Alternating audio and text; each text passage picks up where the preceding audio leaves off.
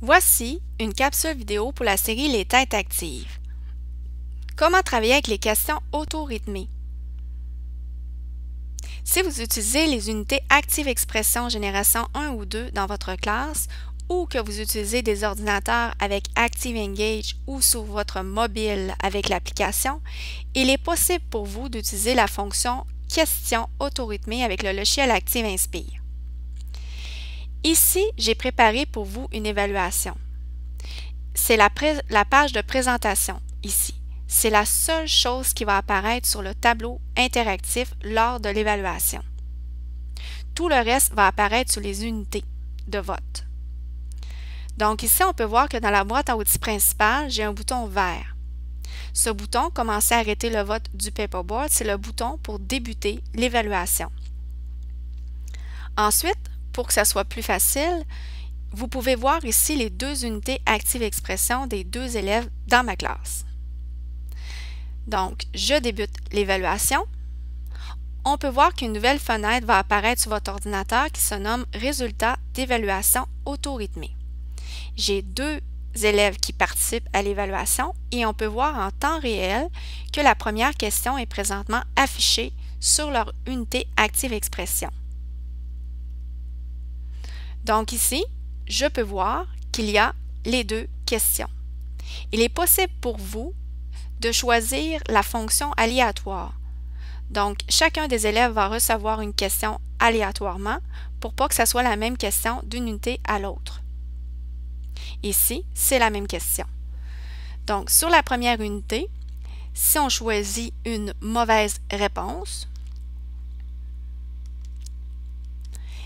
on peut voir ici qu'il y a un message qui est indiqué. Donc, il est possible pour un enseignant de programmer des réponses selon si euh, des réponses envoyées aux unités Active Expression, si la réponse est bonne ou non. Maintenant, si la réponse est bonne, on peut voir qu'on peut aussi envoyer un message différent. Maintenant, on peut voir que vis-à-vis la première unité, la question a été ratée et on peut voir que l'appareil est toujours en attente. Ici, pour le deuxième élève Emery, on peut voir que la question a été réussie. Pour continuer, l'élève doit indiquer « effacer » et là, on peut voir maintenant que les deux questions sont différentes puisque j'avais actionné la fonction aléatoire. Donc ici, si je mets une bonne réponse, on peut voir le message « Bravo ». Ici, si j'indique une bonne réponse, encore une bonne réponse. Donc, si on retourne maintenant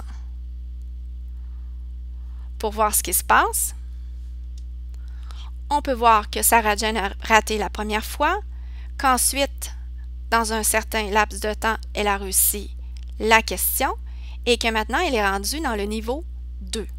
Il est possible pour un enseignant de construire des niveaux pour ces questions pour ainsi euh, motiver ou aider les élèves en difficulté.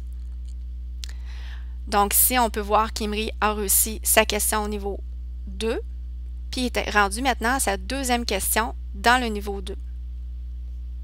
Je vais maintenant arrêter le test pour que vous puissiez comprendre comment préparer des questions de ce genre.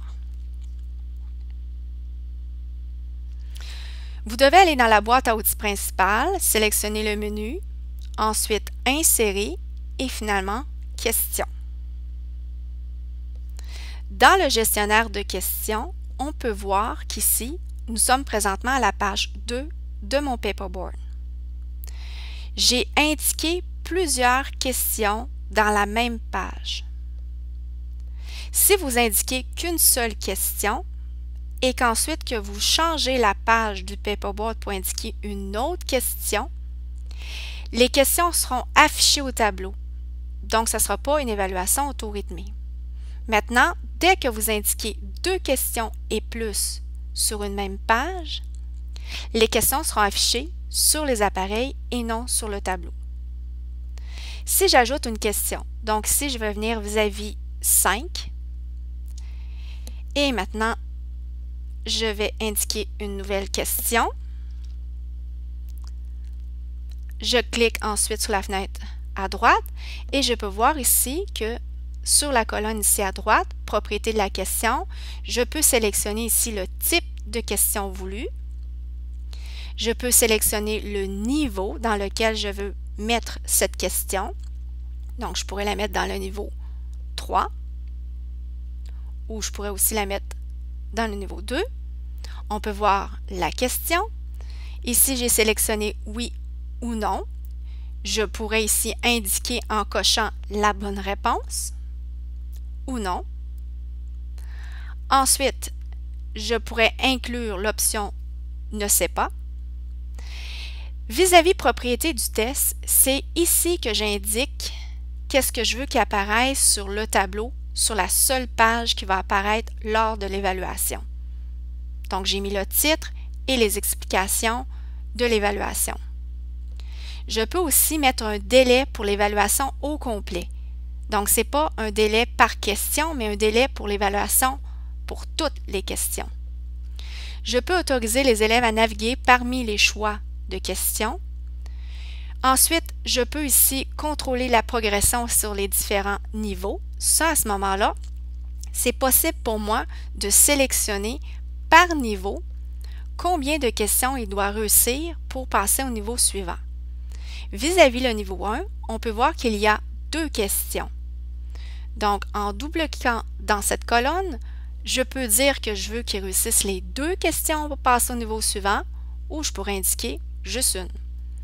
En double-cliquant vis-à-vis aléatoire, je peux ici sélectionner si je veux que les questions soient aléatoires ou non. Donc, c'est à ce moment, si je décide si sur tous les appareils, c'est la même question dans le même ordre qui vont apparaître. Même chose pour le niveau 2. Donc, si dans le niveau 2, j'ai présentement trois questions, je pourrais dire, moi, j'en veux deux de bonnes pour qu'il réussisse son niveau. Ensuite, on peut ici indiquer si on permet aux élèves ou non de réessayer la réponse ratée.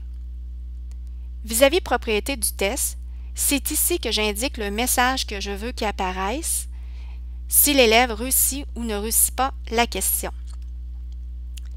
Finalement, vis-à-vis -vis propriété de la page du paperboard, je peux cocher ici pour remplacer. Donc, ça veut dire que sur ma page 2, ce qui va apparaître, c'est ce que j'ai mis ici, vis-à-vis propriété du test.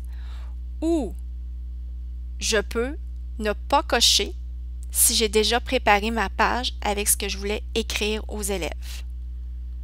Ensuite, j'appuie sur Appliquer, Terminer.